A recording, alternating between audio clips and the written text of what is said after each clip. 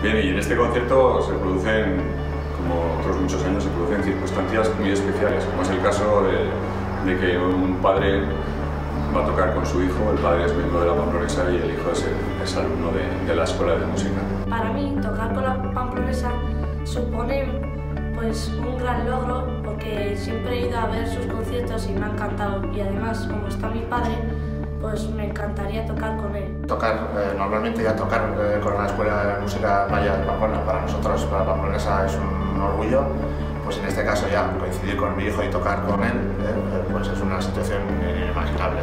Ya no es tocar el concierto, sino que encima además compartimos atril porque tocamos el mismo instrumento.